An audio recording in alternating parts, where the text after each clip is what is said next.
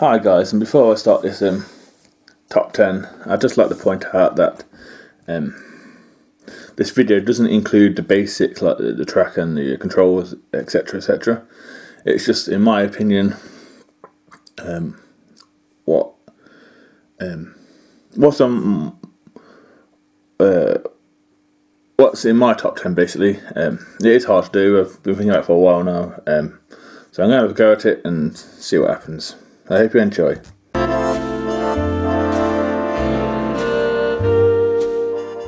So yeah, it's the um, uh, Oakley and uh, Oakworth Valley um, uh, station. I think I've said that wrong. From the from the Railway Children's set, it's um, oh, here we go. I can't remember names.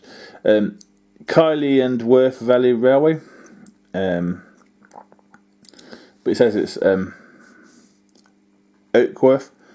Um, it has what it has one platform. Uh, some key dates for for it. It opened in 1867 and closed in uh, 1962. So it wasn't really. It only just made 100 years. Um, yeah, 90 years. Sorry, and then it reopened. Uh, well, a year after its 100th uh, anniversary, it opened in um, 1968. Um, we'll have a quick look. Um, yeah, so yeah, pretty thick. Um, there's Batman, obviously, um, glazed windows, high details you can see by the door, um, bit of weathering.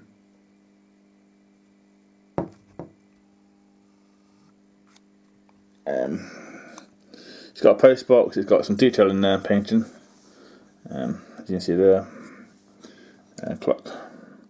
Yeah, this was from the Railway Children set, um, and I quite like it um, for someone who can't kit build um, for personal reasons, it's uh, quite a good addition to any layout, really. Um, steam, uh, diesel, um, futuristic locos.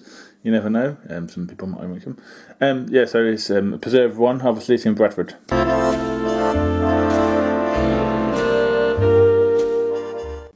Yeah, so it's basically it's this that got me into model railway. Basically, I used to have a Polly with uh, Princess Elizabeth and um, a Continental um, tank engine, which I don't have no more. Just have the Polly left, and uh,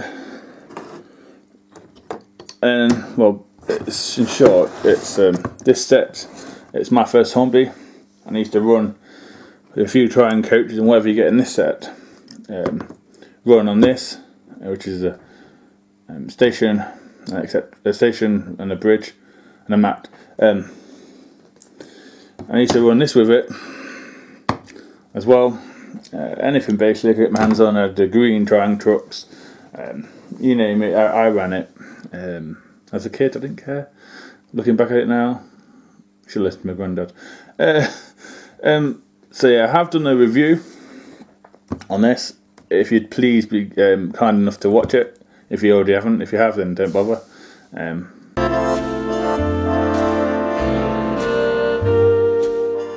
guard vans and um, full brake really. Um, I like both of them. I've got a thing for them. Um, yeah, you, you can get all sorts of them. Um, there's just something about them that's different, especially the full brakes. Just something about them that's different to the uh, um, normal coaches, obviously apart from the restaurant ones. Um, um, this, and this is a baggy one, but I've got you can get a one. Uh, thing it reminds me of a four. So I've got the full brake. Um, this is the LNER one I've got uh, by Bachmann. Um, pretty nice. It's quite a nice little thing. I do like it when you get some more. Um, and then like guard vans, you got this little cute thing here, which I think is a uh, northeastern, so it's LNER I think. Could be wrong. Um, have, I think this is another LNER This is going to be just a standard generic one. Um, yep. And then um, like this southern, southern one.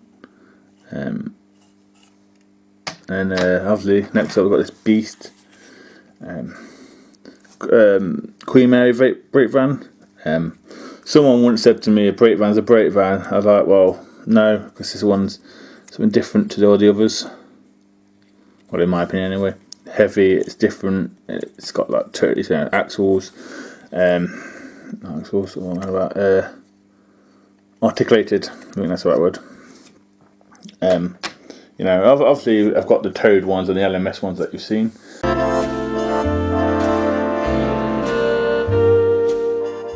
Restaurant cars or kitchen cars or um, diners, I don't know if they're called that. Um, he had many names uh, over the years from different companies. Um, th th this is a.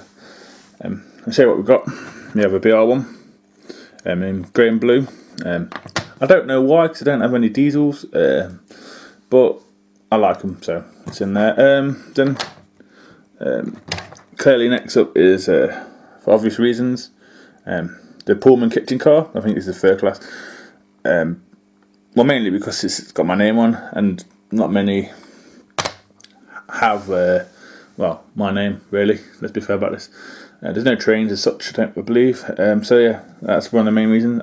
I could have really put this on a list separate, uh, but no, I thought I'd do it in the group of um, kitchen cars. Um, so, yeah. Um, next, we have this um, highly detailed, um, have you seen much here? Um, highly detailed one. Um, you see LNER. So we've got a BR, a Pullman, which I think could be Southern, not sure. LNER, and a really old-fashioned Great Western one. Um, you can't see anything in there because, well, simply it's got cardboard in there. I don't know why. Even if you look down the, the chairs, you can't really see anything. Um, so you got a Great Western one.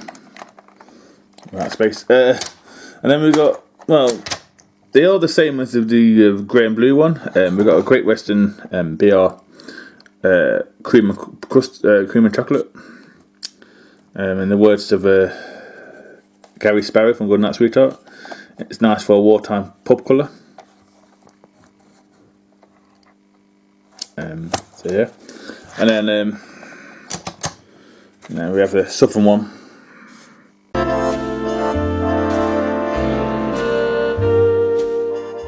Tank engines. I just like tank engines. Um, in well, in any livery, any um, age as such, if you know what I mean. Uh, big, small. Um, you know, I just like them. They're just, they're, you know. I them to tender engines. Uh, tender engines are common and everyone um, likes them, uses them. Um, uh, I just like uh, different sizes. As you see here, we have a, a Taff Valley one, and there it's a 060, and then next to it we have the London Pannier Tank. It's another 060, but it, look, it, it's just even though it's 060, it's still huge. It's still the, the, the pannier over runs it, and then we've got like you know this uh, Thompson L1, uh, and we've got this Fairburn, and you know they're both they just look gorgeous. So yeah, tank engines. Um, I've got more than this. This is just a little. There's also um,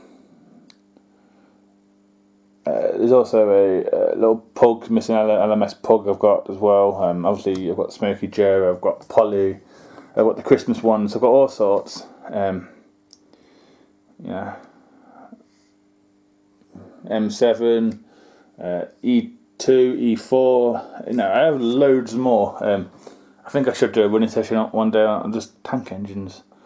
Um, you don't see enough of them anywhere. YouTube, um, Facebook, uh, model rail exhibitions. You just you just don't see enough. Um, sorry, this wasn't meant to be a rant. Yeah, it's tank engines.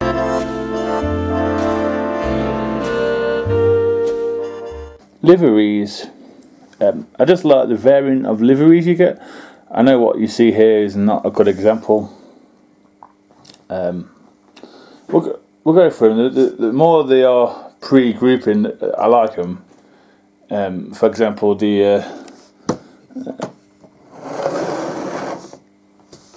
that one there, uh, South East. Oh, I can't remember. Actually, I, I mine's gone blank. I do apologise.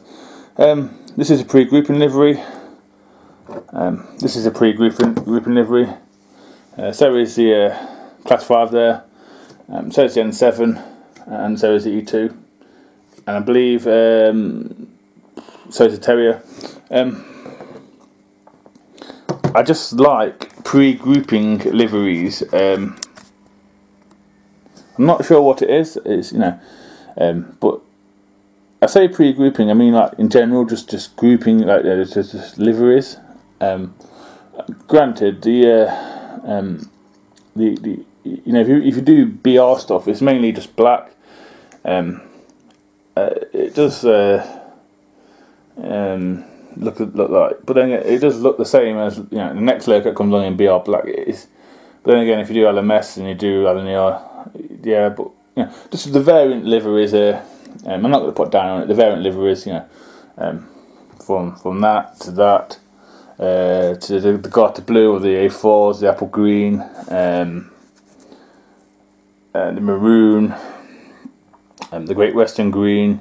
You know, they're all they're all nice. It's it, you know it's nice to see a colourful railway. I like to see colourful railways. It, it means it enjoyed. Uh, black just remind me of funerals. So, but I'll still run it. Trust me, I'll still run it. Um, so yeah, liveries.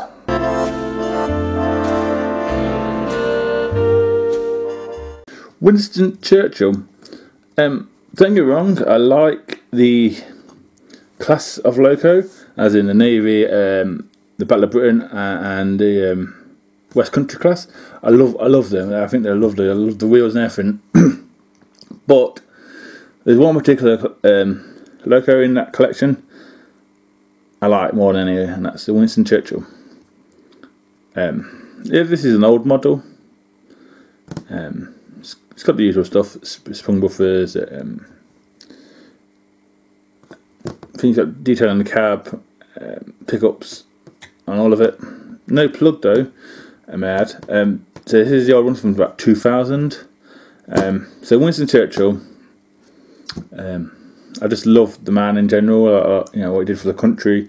Yes, he wasn't the best politician overall. Overall, you know, he did take some men to their deaths knowingly uh, from what I've read and um, uh, from what I've seen of documentaries. Uh, but yeah, but I just love the loco, and I love the uh, the guy that was Winston Churchill. So yeah, Winston Churchill.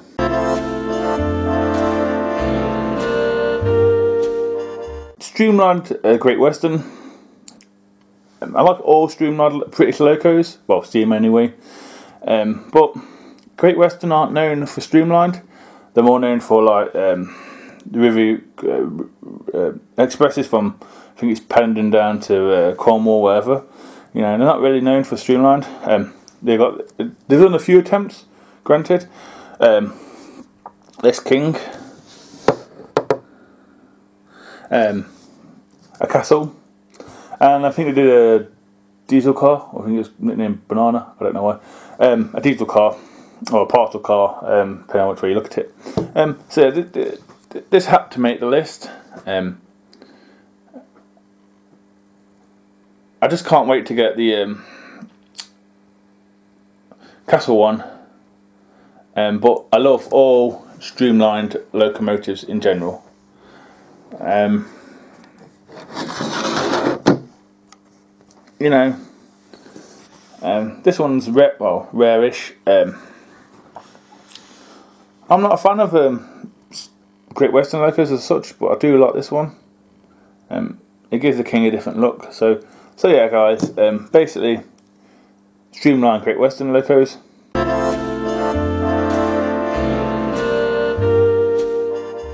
Mallard and Flying Scotsman. Yeah, I know everyone's got one, and um, Hornby and uh, Bachmann and uh, Trix, I believe. I've all released one. I think there's one Engage, there's oh, there's all sorts. I've all released them. They're common as anything. Uh, Hornby released one any, excuse. Um, but like with the Smokey Joe, like I said, when I um, got my job, I got some spec ash. This is one on the report with the Smokey Joe. As a train set. So it means a lot to me. I look at it, it reminds me of Gordon. Yeah, Gordon's based on one. Just the tender's different. And the Mallard. Um, well, I saw it in the shop in Banbury, and I just fell in love with it, and I never, you know, near enough ever since then. I've fallen in love with LNER basically. Um, one super detail. Uh, this one is railroad. Well, basically railroad. It's not, but it, it is classed as railroad. Um, would never part with them. Um, so yeah, Flying Scotsman and the Mallard.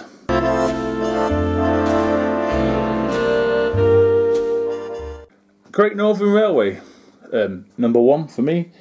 Uh, know it's not an item as such, it's more of a company, but uh, Great Northern, um, where, I live in, in, Burton, there's a pub called Great Northern, and, and as a kid, I saw that in a cabinet in the pub wall, and I just was intrigued uh, with the with the loco itself.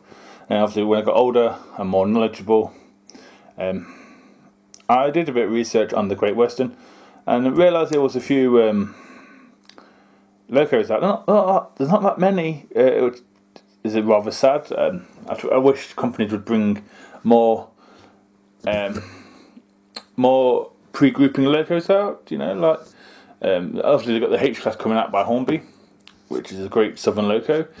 Um, you know, I wish to bring out more uh, Caledonian Railway stuff.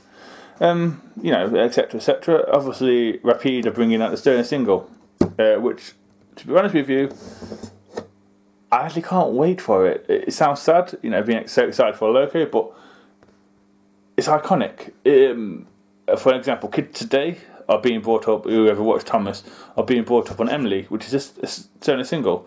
Um, Gordon, again uh, which is basically um, that, which is well, that one there is Great Northern, um, as you can see. But uh, obviously, Gordon is based on that locomotive. Um, so yeah, it, you know, kids do see a, few Great Northern. I think there's another one in Great North. Um, Thomas, I think there's this one. I'm not sure. He's got Charlie. Um, yeah. And then we got this wonderful Atlantic by uh, Bachmann. Um, yeah, fabulous, just just awesome. Um, I think this is the N2 class. Could be wrong. this is Hornby's version. Um, still the same sort of mechanism as a uh, mainline, you know, but it's a very nice locomotive. I just wish they'd bring out more. Um, well, any companies, uh, any company really uh, just more pre-grouping locos. Even I'd like to see even the rocket, the rocket. Um, but we're not going to get them. I don't think. Um, way the, the, way it's going, I don't think we'll get them. But what we have got, we should make the most of, really, guys. So yeah, that's it. Great Northern was number one. Thank you for watching. God bless.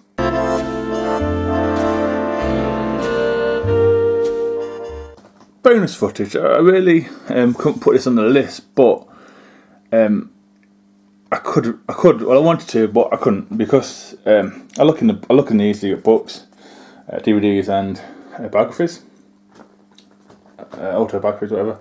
Um, and I see pictures, as you tell, been around a bit.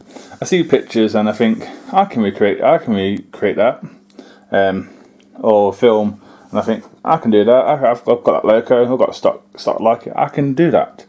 Um, so we'll have a look. About, um, so what the two films I've got are um, uh, it's a great film. If you're not seeing it, you, should go and check it out. It's a great film. It's old, but it's great. Especially if you're a Great Western fan. It's got some Southern in there as well.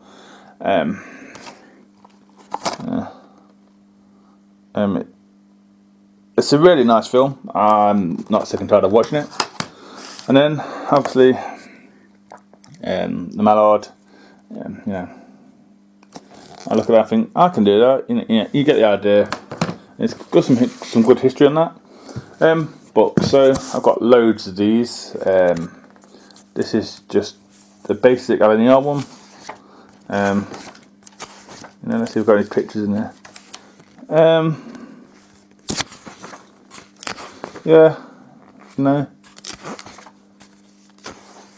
Uh, yeah, I have one of them locomotives. Um, don't have the stock, but I have one of the locomotives. Um, I'm like, well, I can sort of uh, recreate that if I want to. Um, I, well, I've got a, a, four wheel Hornby coach I can put and I've got some teaks. Um, I can do that, you know, you know.